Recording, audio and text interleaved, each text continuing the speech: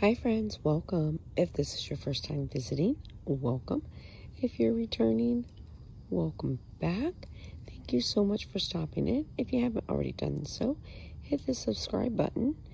And if you like the video, give it a big thumbs up.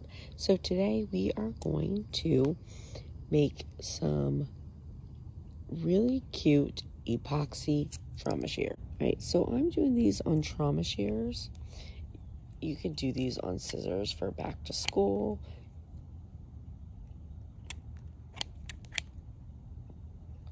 I love these on trauma shears. And the thing about it is putting the epoxy on these actually makes the handles much more comfortable. So if you've ever had to cut clothes off of somebody with trauma shears, these plastic handles dig into your fingers and putting the epoxy on it actually gives it a more rounded edge. So not only does it look pretty and it is a fun gift or, you know, something fun even to sell.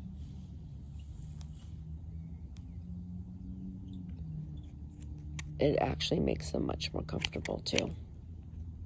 But these turned out super cute. Now, I left them black because I wanted to do this really pretty blue color on them. Of course, you know, you could paint your ends of your trauma shears and do them whatever color that you want. We'll do some more colors because I have a few pairs I have to make.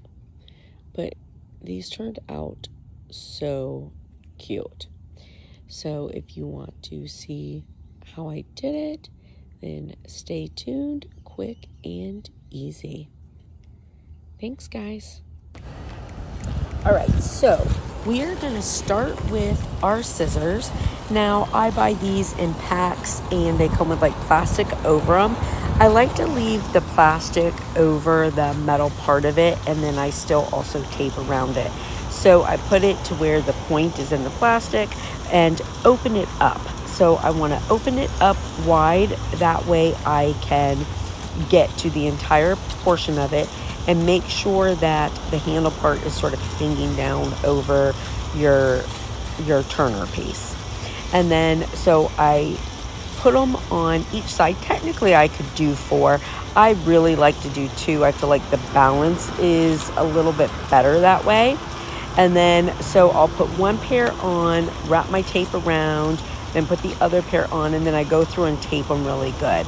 And then I'm going to go through and take pieces of tape and then, you know, tape over any silver part that I don't want to get epoxy on.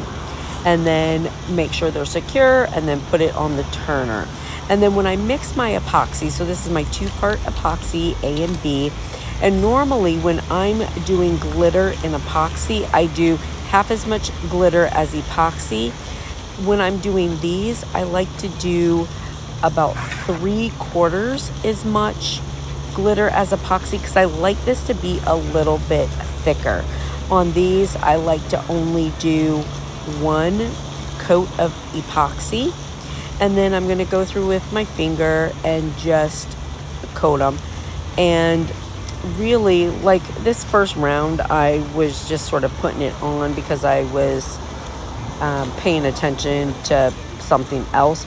But, and then when someone stopped talking, then I, you know, went on how I normally do. So I normally like to stick with one um, side of the scissor and get that completely done and then move to another and I just sort of follow it around and you know make sure that you get all of your plastic covered make sure that you get the inside really good also. And the nice thing with this is once the epoxy hardens, like putting epoxy on these kind of gives more of a rounded edge to your cheaper trauma shears and makes them more comfortable to use. So not only are these super cute, they're comfortable to use. Now these are black and I left them black because of the color of glitter that I was putting on. But when I want them different colors, I just tape it up and then spray paint them. No big deal. I'll spray paint them white or pink or like whatever. Usually white, and then I just put whatever color over it. But sometimes I do the color of the glitter. Whatever you want to do.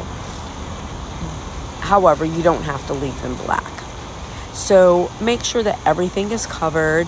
And if you have anything that looks like it's sort of lumping up after they've been spinning for a few minutes, just take your heat gun and sort of, you know, go over them. And even with this thick glitter, like these, uh, I don't know, maybe because of the plastic or whatever, but it always lays well. I never have to sand them and do a second coat.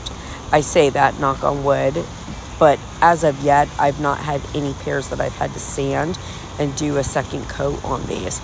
And these are so cute. They're a fun gift. They're fun for yourself. I get so many compliments on all my different colors of trauma shears. I make shears to match whatever different pair of shoes.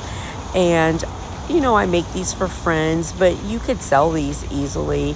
And they're such a cute gift, easy to make, you know, one time around on the tumbler. So by the morning time, I'll shoot the beginning of this video to show you. This is them after they've been spinning for a little bit. You can see they look really good. And now it's morning time. They're done. And I'm just to, you know, pull it off. Sorry, early in the morning. And it's not all in um, it's not all in frame, but you can see like they're all done. And now I'm just gonna take all the tape off, take the tape off the edges, which is my favorite part, taking the tape off of stuff. I love it. Anyways, and then you can see like these were really quick, about, you know, maybe 10 minutes of work, and then they just spun overnight and they're done. And these turned out so cute. All right, listen, friends, I hope that you like it. I hope it was helpful. I hope you have a blessed and beautiful day. And listen, I am trying really hard to keep up with videos. And like I always say, but haven't yet done it, I'm really working to be better. I do have plans to be better. And just so much going on in my life right now and um, you know scott and i just got divorced on top of being in school and work and it's just a lot but we'll talk about that later all right listen i hope you guys have a blessed and beautiful day friends and i'll see you later bye